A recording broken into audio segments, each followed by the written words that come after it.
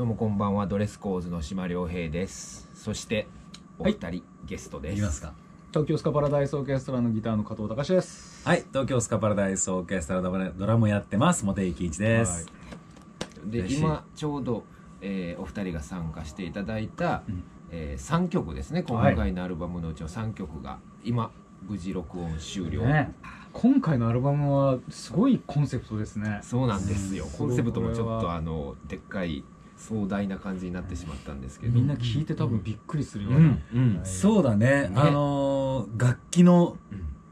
用い方もうん。ああ確かに、うん。独特だし、うん。そうだね、うん。そして我々が呼ばれた意味合いもはいはいはい。聞いていただければわかるうんうんうん。内容にもなってます。3曲ともものすごいこう色が、ものすっごい色があって、うん。それぞれこれすっごいアルバムになるよすごいんですよ、うん。他の曲ももうね、いやえらいことですけど。やっぱりまあねこうお二人と一緒にできるならこの曲っていうのがあのこの3曲だったので、やっぱり思い入れ強い3曲なんですけど、いやー本当にいや、はい。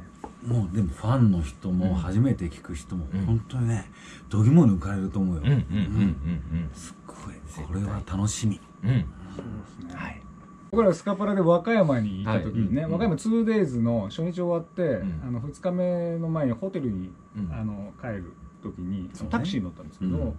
タクシーの中でなんかやたら音楽に詳しい運転手さんがいて、うん。おじさんなのにね僕はねそうたまたまあのクリープハイプのクリープハイプの尾崎君の話をしてたんですよ、うん。後ろの、世界観うんうん。うん。そしたらそれで尾崎君って言ったら「ああいいですよねクリープハイプ」みたいな。運転手さんが。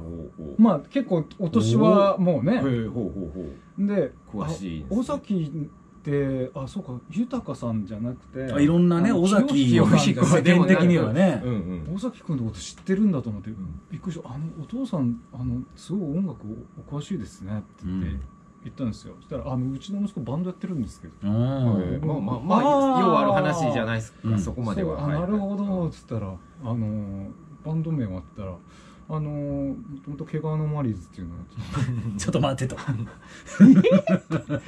あのーえー、ってドレスコーズっていうのもやってますね今。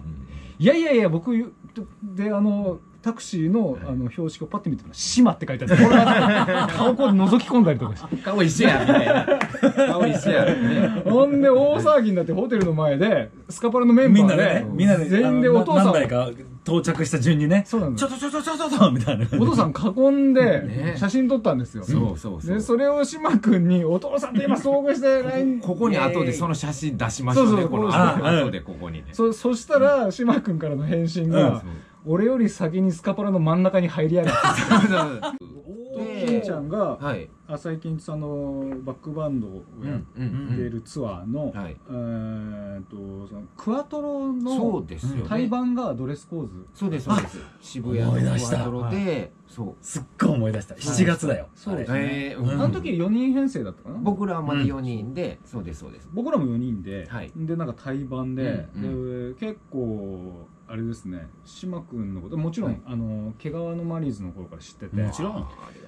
で面白いなとうん。思ってたんだけどちょっとやっぱ怖いなっていう印象があってえー？めちゃ どうやっめちゃて近づけばいいんだろうめちゃめちゃ年下じゃないですかやっぱ身長も大きいし、はい。かなりこうなんかロックロックま感がね、うん。やっぱりこう、うん。はい。ガツッと出てるので浅井さんのバンドと対バンだっていう時にあこれちょっとなんかいんじゃないか。うん。であんまり喋んない人なのかなと思ってた。あはいはいはいはい。そうだよね。世見た間的にはそうかもしれない。